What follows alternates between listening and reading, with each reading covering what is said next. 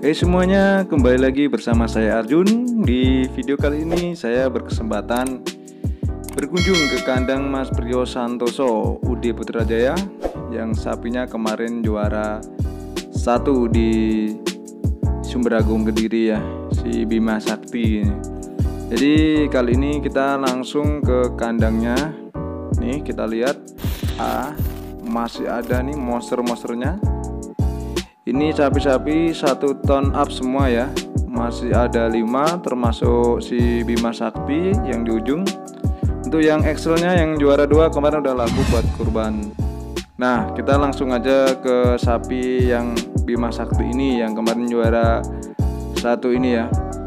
Jadi si Bima Sakti ini sapinya dulu beli umur 2 tahun setengah di pasar Ngatiluwe seharga 46 juta di kalau kalian mau ke pasar Ngadiluwe itu pasarannya Kliwon ya guys ya.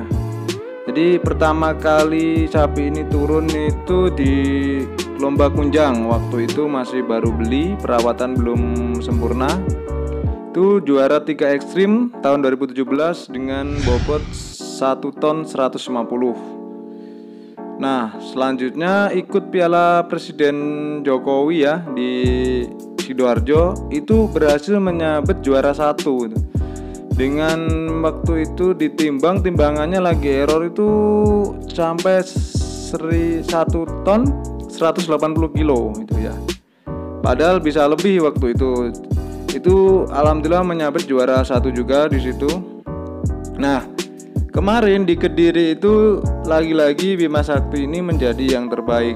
Juara kelas 1 ekstrim dengan bobot 1 ton 394 kilo nih. Sapi menjadi yang terbesar. Dan Bima Sakti ini guys penawaran terakhir udah di angka 130 juta. Dan belum dilepas oleh Mas Priyo masih buat silaturahmi kontes-kontes sesama penghobi. Ya mungkin tahun depan siapa tahu dilepas sama Mas Priyo dan dibeli sama Pak Jokowi ya karena udah juara di Piala Presiden Jokowi nih. Oh ya ini sekedar info. Nanti Bima Sakti akan turun lomba kontes di Malang ya guys. Jadi yang pengen ketemu dan foto bareng Bima Sakti bisa nanti September bisa ikut di kontes di Malang. Untuk tempat dan waktunya nanti akan saya kabari. Tetap stay di channel ini ya guys. Jangan lupa ya subscribe-nya guys dan like. Oke, terima kasih.